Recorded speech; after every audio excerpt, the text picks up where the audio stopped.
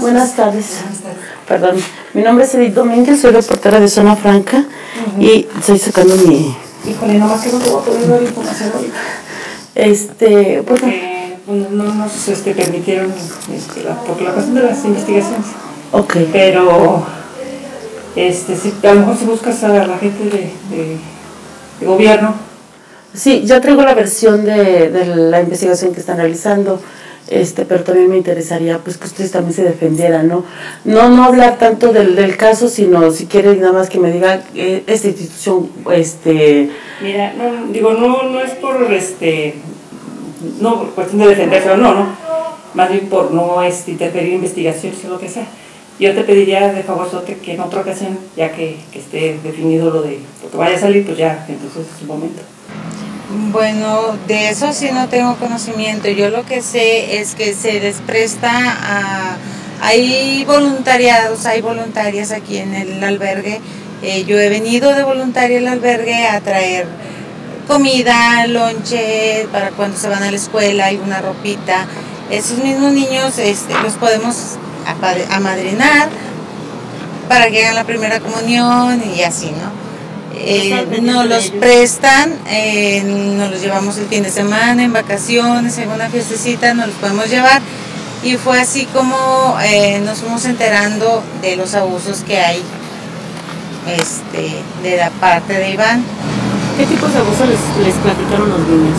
Eh, físicos, eh, golpes, insultos eh, y sexuales, tocamientos. El, No fueron tocamientos, fueron muy violaciones, violación como tal. Eh, los niños no estaban así muy convencidos de hablar. Hablaron de tocamientos y de que Iván le pedía a cierto niño que le llevara a varios niños en la noche a su recámara. Ya lo regresaba hasta el siguiente día. Eso es lo que, lo que dijeron. que Iván, sí, Iván, que nos están diciendo, nos está- bueno, nos estamos enterando que ya no está aquí, que ya se fue de Irapuato. Entonces, ¿dónde está su inocencia, no? ¿Por qué se va y por qué no da la cara? ¿Y este Iván qué, qué, qué puesto tenía de él? Él era el encargado, el, el coordinador ¿Coordinador de qué? de aquí del albergue. Sí, este, yo también fui voluntaria eh, ¿Hace en, cuánto tiempo? en varias, mm, como un año estuve viniendo a traerles desayunos, eh, juguitos, eh, tortas para sus lonches a la hora de la escuela y algo de ropita que también mis amigas y amistades me daban para traerles a los niños.